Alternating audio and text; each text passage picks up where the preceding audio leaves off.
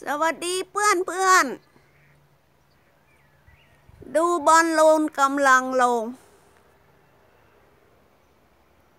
อันนี้บริเวณรอบๆบบ้านตื่นขึ้นมาเจอบอลลูน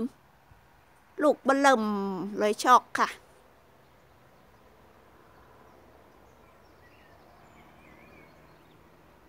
วัวกับแม้ก็ดูบอลลูน ตรงนั้น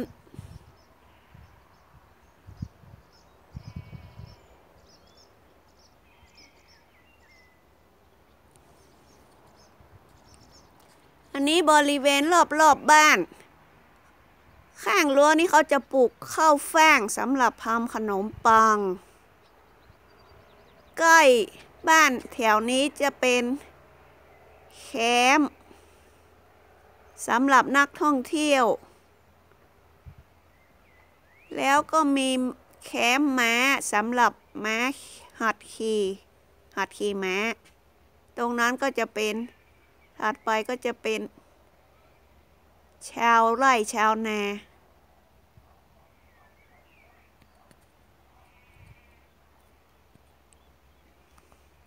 มาใกล้นี่ละใหญ่มากค่ะ ลูกบอลลูนสีดำ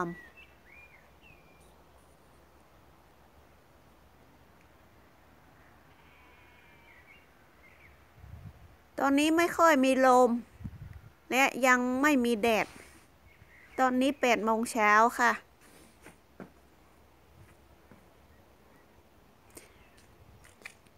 หลังสารเขานั่นจะเป็นทะเลค่ะ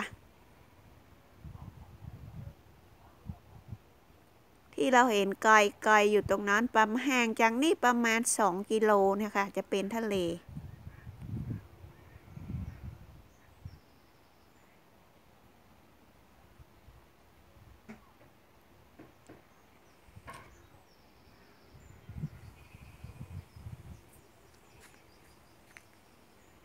ดูบรรยากาศรอบบ้านนะคะ สนามหญ้านี่ตัดแล้ว ตัดเรียบร้อยแล้วต้องตัดสามสี่ครั้ง กว่ามันจะสั้นแค่นี้ เพราะเราไปเมืองไทยตั้งสามเดือน เพิ่งกลับมา แล้วด้านหน้านั้นเขาทำดินไว้ก็จะปลูก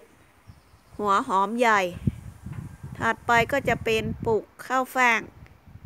และตรงหน้าบ้านเราเขาจะปลูกมันฝรั่งกันค่ะ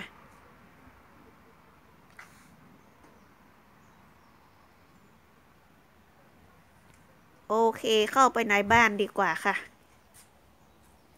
ขอบคุณเพื่อนที่กดติดตามสวัสดีค่ะ